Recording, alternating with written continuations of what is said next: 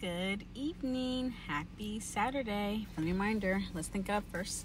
Thank you, Lord, for another day. Thank you, Lord, for blessings and bringing us to this day, Father God. Thank you, Lord, for bringing us through this day thus far, Father God. Thank you, Lord, for life in itself because it is truly a blessing to be alive, Father God. I thank you, Lord, for new mercies, new grace, new opportunities, new possibility, Father God, new strength, Father God. Thank you, Lord, for choosing me and knowing my name, Father God. I'm so thankful, Lord, that you chose me. You know my name, Father God, that you keep me, you protect me, you provide for me because I lack nothing. But as I remind the person watching this video right now, I would like to remind myself as well that just focus on the joys of the day today. Remember and speak good things over your life.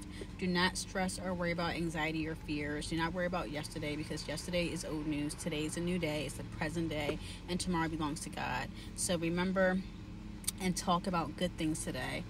Change your mindset, be intentional, be mindful, and trust the Lord.